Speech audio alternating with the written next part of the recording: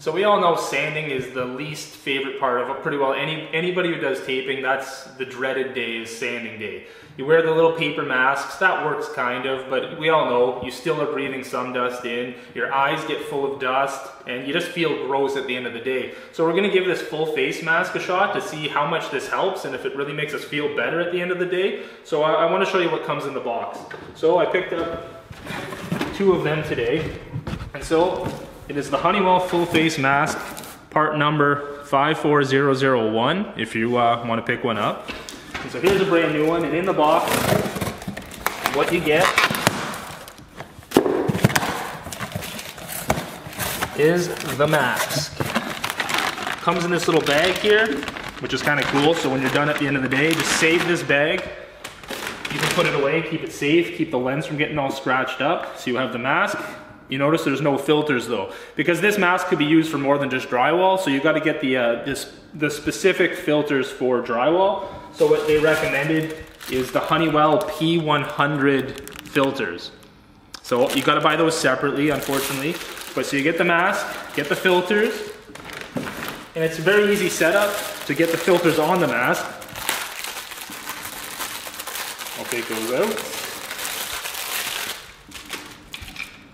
And they make it pretty convenient. There's nothing to line up, whatever. They just threaded on the filter and on the mask.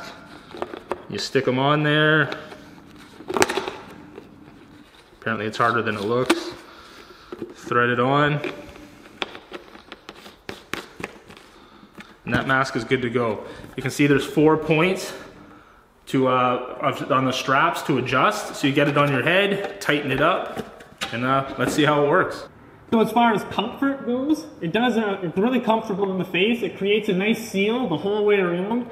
There's no way drywall dust is getting inside. Vision is good, you can see everywhere.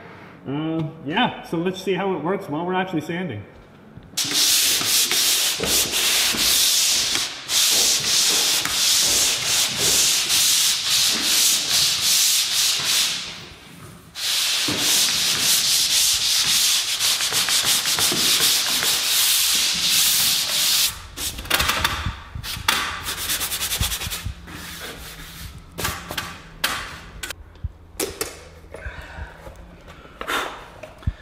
Okay, so we just finished sanding about 13,000 feet of drywall. Um, unfortunately, our Planex is broken, so that's why we had to pole sand.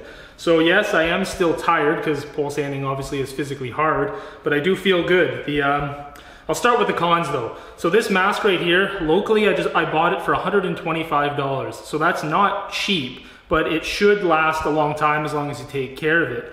Um, it didn't fog up, which was good, but uh, I did notice it was on my head for a little while. Eventually it kind of went away, but I did, it was kind of tight on my head. So I noticed it for a while, that kind of goes away. But I mean, that's not really a con, it's just, you get used to it.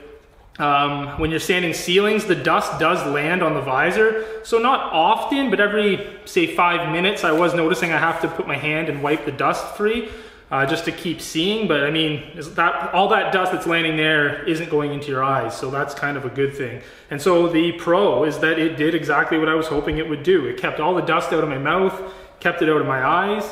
Um, so I don't know, overall, I'm really happy with it. Um, it did get kind of warm, so in the summertime, maybe that could be an issue, but you'd have to try it for yourself and see. But overall, it worked well, so I would definitely recommend at least giving it a shot.